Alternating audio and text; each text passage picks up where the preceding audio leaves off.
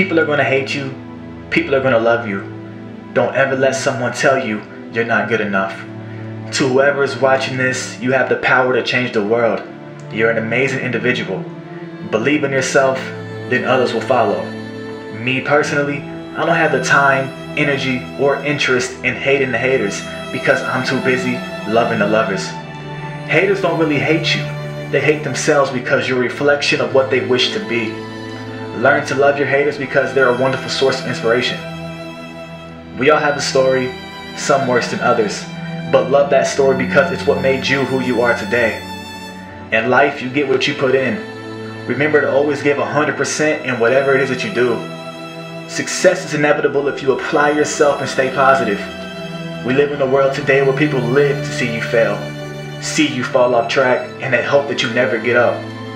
If that ever happens, just get back up, put a smile on that face, and keep grinding. Be so good that they can't ignore you, that they can't help but hate. Remember, there's always going to be somebody better than you. Don't let their success become your failure. With dedication, commitment, and the willingness to want it, you'll be just fine. You'll get there. Challenges are what makes life exciting, and overcoming them is what makes life meaningful. Just be the best person you can possibly be. Happiness within yourself is the most important thing. Don't be scared to be different. Don't be scared to step out of your comfort zone. Life is about experimenting.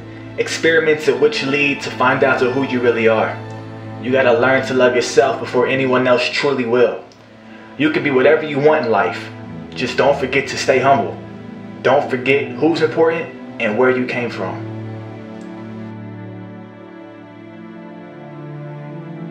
Maybe I could reach out and help someone who needs it. Someone that feels trapped in their life. Maybe you can too. I guess the message that I'm trying to convey here is you're good enough. Don't ever let someone tell you otherwise. Stay positive and keep moving forward. This world is yours for the taking. Forget about the haters and the doubters and just be you.